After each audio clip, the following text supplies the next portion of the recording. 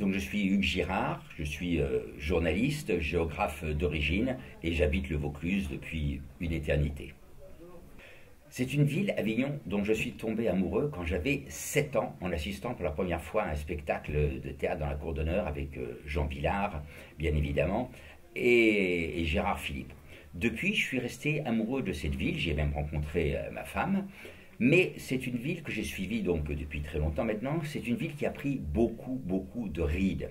Et finalement, je suis persuadé qu'un maire comme Jean-Pierre Cervantes sera quelqu'un qui sera capable, comme maire, de faire un véritable lifting pour cette ville, un lifting qui soit à la fois écologique, social et solidaire.